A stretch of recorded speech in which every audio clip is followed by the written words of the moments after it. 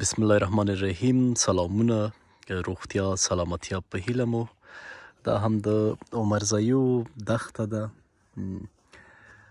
چې د اوړي په حساب سور لمر او د ژمي معلوم دار ده چې که لږ شمال هم شي نو یخني به له حده ډېره وي پر دې کې موږ دغه خورکۍ شاته واړه واړه یتیمان دي چې ما ویل چې شاته ودرېږي نو چې مخونه یې رای نشي او واړه واړه یتیمان یې اوسېږي د خدای په هیله خاوند څو کاله وړاندې وفات شوی مورکۍ مشر زوی دغه هم شاید څو کالو دی مورې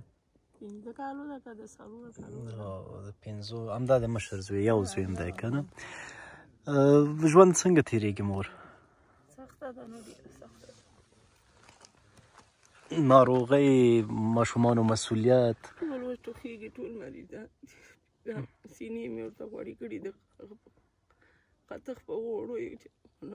سخته که سخته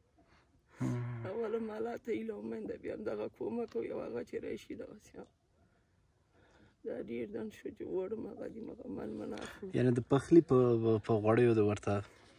سینه ورته غوړه کړه وسه من کیږي کینې لکه تم چې ولېږي او دوه ګولې ورکې نو هغه باندې چیرته خکې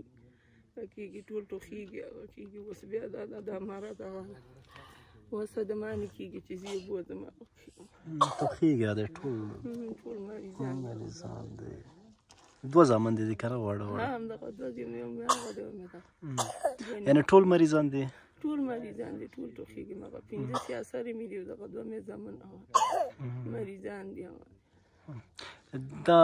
دښتې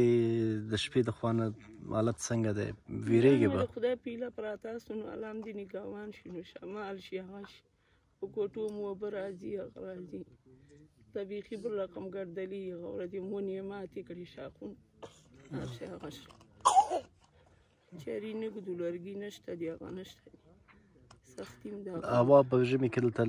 نسبتا د نور ځای نه بلګه یخه ځکه د شپې خونه به یخېږي ورځ خو بیا هم له دغه مر چې شي هوا لګوي یا هغه څه دی مورد ساده کوی سله چا کې چې تیږي چیخي هغه دغه د مرغانو کار کوي دا لکان دی جال دی ها جال دی جوړي صحیح دا د لاندې خلا دي په دې غره کې صحیح مور اول خو هغه ته ویل چې ماشومانو ته د سینه په هغه غوړه کړي د خوراک په غوړیو په نور ورته پردې کاوه دغه اندازه خوراکي مواد دي چې چپلقۍ هم پکې دي او بعضې شیانه چې تاسو ته زمونږ په نظر مهم دي او ضرور دي په ضمن کې دغه زر افغانۍ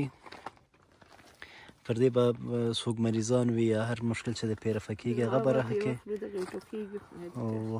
د علي خان ورور مرسته ده خپل دعاګانو کې یاد ساته زه دې عمر ورکړي علي خان ورور دې خدای یاد کړي چې د موږ یاد کړی است الله دې جنتي کړي الله دې اجي کړي خدای دې عمر ورکړي تل مدام دې خدای آباد لري چې داسې دا کونډو هغو سره یتیمان سره دا کومک او تا ته دې خدای عمر ورکړي بشیر ته دې الله پاک عمر ورکړي دغه دوه ورونو ته نور دې خدای پاک اجي کړي خوشاله اوسه خور خوشاله اوسه مننه خدای مل شه خدای پامه